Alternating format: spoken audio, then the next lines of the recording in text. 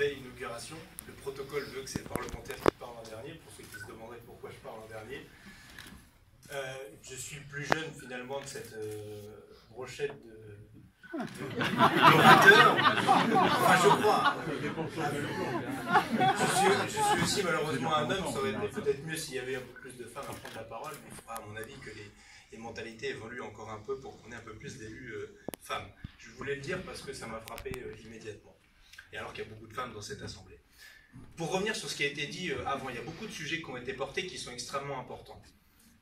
Sur le prélèvement à la source.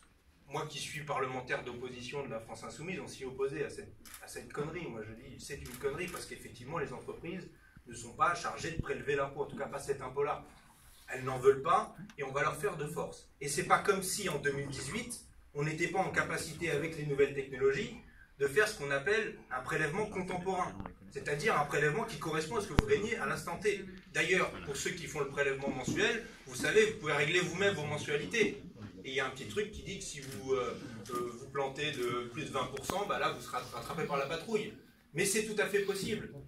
Alors pourquoi c'est possible de le faire et ce serait plus possible demain? On a pointé d'ailleurs les retraités qui vont être dans une galère, ceux qui sont passés en retraite cette année, puisque le calcul de leur prélèvement va être calculé sur leur retraite de l'année enfin sur leur, salaire de l'année dernière, là où ils travaillaient encore, et euh, l'État leur dire pour l'instant, il faudra attendre 6 mois avant de régulariser. Il y en a une paire qui ne vont pas pouvoir attendre 6 mois avant de régulariser. Ils vont faire une avance de trésorerie à l'État. Et ça, c'est pas acceptable. C'est pas acceptable. Sur le, taux réduit, j'ai appris ça euh, aussi. Bon, vous savez qu'on bataille aussi contre euh, les différents, les différents textes de loi, peut-être pas pour les mêmes raisons, mais en tout cas, on, s'y oppose et euh, je crois que c'est effectivement une vraie connerie de, de, relever le, taux de TVA. Ça a été dit sur plusieurs aspects, mais il y a un aspect notamment qui est un enjeu qui nous concerne toutes et toutes. C'est que quand même, il y a environ 8 millions de logements qui sont potentiellement des passoires énergétiques on sait que le, changement climatique est à l'œuvre. On sait que ça ne concernera pas juste les artisans, ça ne concernera pas juste les clients, ça concernera tout le monde cette histoire.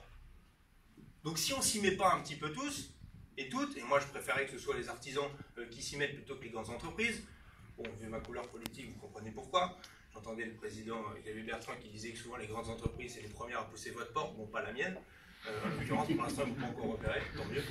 Euh, mais c'est un enjeu. C'est vraiment un enjeu. Et là, on voit tout le, le piège du et en même temps. Vous l'avez entendu, ce truc-là, et en même temps. Alors c'est et en même temps, il faut aider les artisans, et en même temps, il faut rénover les logements. Et en même temps, on va augmenter la TVA. C'est pas possible.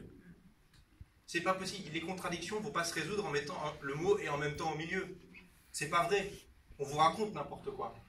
Donc, moi, je vais partager, je partage ces combats euh, avec vous et je partagerai les combats avec tous ceux qui voudront euh, se battre sur, sur ces histoires de, taux de TVA. Et puis, pour terminer, parce que je ne vais pas vous bassiner, euh, la, barre a été mise basse pour le temps de parole. et puis j'aime bien les, cocktails aussi, à vrai dire. Sur les histoires de, de, trésorerie des entreprises, je sais que c'est un sujet et qu'on n'en parle pas souvent. C'est pas le sujet du moment. Pourtant, c'est un sujet quotidien pour tout le monde. Quand on dit que les, administrations ne payent pas assez vite et que les entreprises ne sont pas là pour faire des avances de trésorerie. Il y a quand même quelqu'un dans la société qui est censé faire une avance de trésorerie, dont c'est le rôle. Ça s'appelle la banque. Et là, il y a un petit souci quand même avec les banques. Parce que c'est pas comme si c'était si facile que ça d'avoir des avances de trésorerie pour pas cher. Parce que des avances de trésorerie pour cher, à la limite, ça peut encore se trouver.